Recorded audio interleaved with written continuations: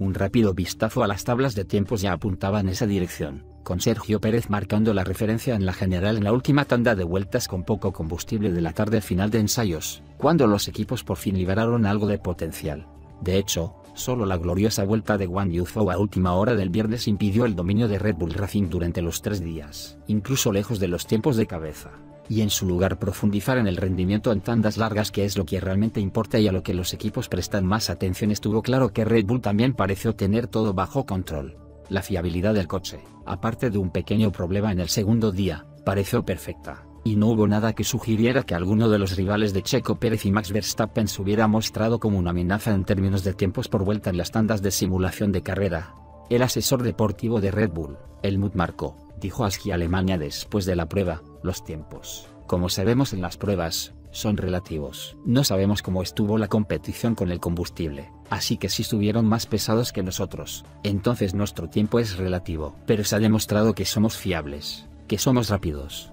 que estamos delante. Por encima de todo eso, lo que nos hace ser muy optimistas es que tanto las tandas largas de Pérez como las de Max fueron de claramente al menos más rápidas que las de la competencia. Ser el equipo a batir en los entrenamientos no garantiza, por supuesto, nada a la hora de producir resultados el fin de semana. Como dijo el director del equipo Ferrari, Fred Vasseur, el último día, no recuerdo quién hizo la vuelta más rápida el año pasado en Bahrein, pero no estaba en la pole position para la carrera, y lo mismo ocurrió hace dos años. Sin embargo, analizando más a fondo cómo se desarrolló el test de Red Bull, hay algunos otros aspectos que han hecho saltar las alarmas de otros equipos en sus esperanzas de dar el salto sobre la escudería campeona del mundo de F1,